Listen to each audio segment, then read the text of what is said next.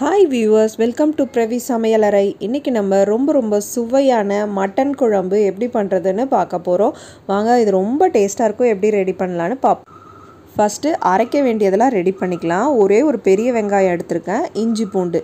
பெரிய வெங்காயமும் இஞ்சி பூண்டையும் சேர்த்து நம்ம அரைச்சிக்க போகிறோம் இப்படி அரைச்சா டேஸ்ட் ரொம்ப சூப்பராக இருக்கும் குழம்பும் கெட்டியாக இருக்கும்.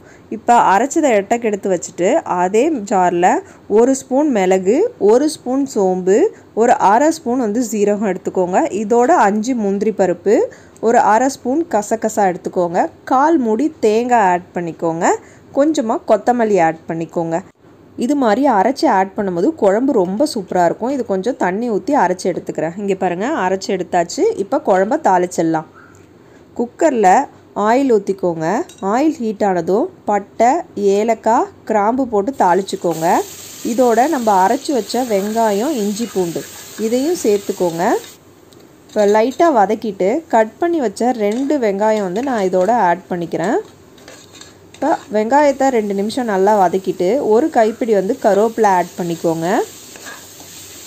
இப்போ வெங்காயத்தை நல்லா வதக்கிக்கோங்க. ராஸ்மல் போனதுக்கப்புறம் இதோட ரெண்டு தக்காளி ஆட் பண்ணிக்கோங்க. தேவையான சால்ட் ஆட் பண்ணி நல்லா வதக்கிக்கோங்க.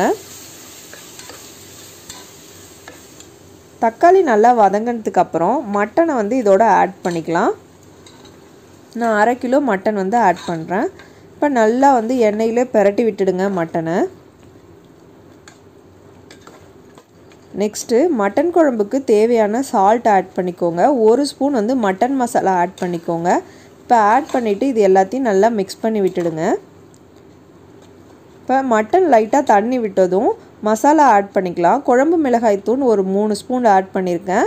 Chilli powder Kashmiri chilli powder சும்மா ஒரு அரை ஸ்பூன் கலருக்காக மட்டும்தான் ஆட் பண்ணியிருக்கேன். இப்போ மிளகாத்தூள் போட்டதுக்கப்புறம் நல்லா பெரட்டி விட்டுடுங்க. அவ்வளோதான் இதோட நம்ம அரைச்சி வச்ச விழுதையும் ஆட் பண்ணிட்டுக்கோங்க இப்போ தேங்காய் ஆட் பண்ணி நல்லா மிக்ஸ் பண்ணி விட்டுடுங்க. நெக்ஸ்ட்டு இதோட நம்ம உருளைக்கிழங்கு ஆட் பண்ணுறோம் உருளைக்கிழங்கு வந்து தோல் சீவ வேணாம். தோல் சீவாமல் அப்படியே கொஞ்சம் இந்த அளவுக்கு பெருசு பெருசாகவே ஆட் பண்ணுங்கள் ஏன்னா மட்டன் வேக ஆறு விசில் வரைக்கும் விடுவோம். இப்போ தேவையான தண்ணி வந்து ஆட் பண்ணிக்கலாம். குழம்புக்கு தேவையான தண்ணி ஒரு டம்ளர் ஆட் பண்ணியிருக்கேன் உப்பு காரம் எல்லாம் கரெக்டாக இருக்கான்ட்டு செக் பண்ணிவிட்டு குக்கரை மூடி ஆறு விசில் விட்டுடுங்க. விசில் வந்ததும் ஆஃப் பண்ணிவிட்டு இறக்கி பார்த்தீங்கன்னா நம்ம சூப்பரான மட்டன் குழம்பு வந்து ரெடி ஆகிருக்கும் நான் ஆறு விசில் விட்டு இறக்கியிருக்கேன். கறி நல்லா கரெக்டாக வெந்திருந்துச்சு எனக்கு. இங்கே பாருங்கள் இந்த மட்டன் குழம்பு ரொம்ப ரொம்ப டேஸ்ட்டாக இருக்கும்.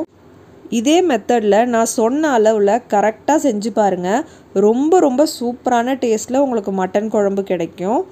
அவ்வளவுதான். நம்ம சூப்பரான காரசாரமான மட்டன் குழம்பு வந்து ரெடியாக இருக்குது இதை கண்டிப்பாக உங்கள் வீட்டில் ட்ரை பண்ணி பாருங்கள் நீங்கள் செய்யும் போதே வாசனை கம கம கமன்னு அவ்வளோ சூப்பராக இருக்கும். கண்டிப்பாக எல்லாருக்கும் ரொம்ப பிடிக்கும். எப்படி இருந்துச்சுன்னு கமெண்ட்ஸ் பண்ணுங்கள் மறக்காமல் பிரவி சமையலறைக்கு சப்ஸ்கிரைப் பண்ணிவிடுங்க பாய் ஃப்ரெண்ட்ஸ்